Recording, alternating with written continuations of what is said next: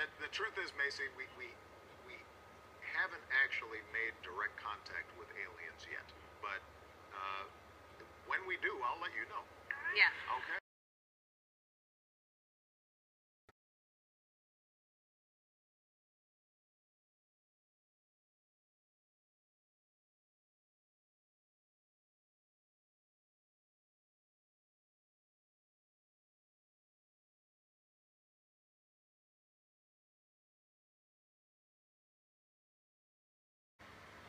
You saw that there were aliens there, would you tell us? Yeah. You would.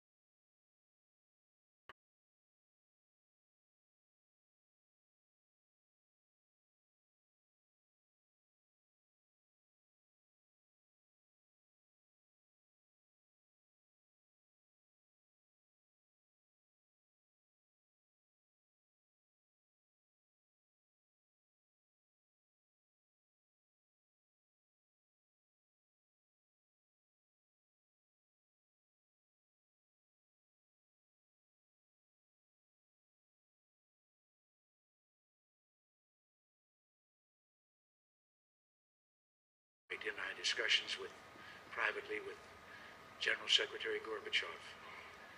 When you stop to think we're all God's children, wherever we may live in the world, I couldn't help but say to him, just think how easy his task and mine might be in these meetings that we held. If suddenly there was a threat to this world from some other species from another planet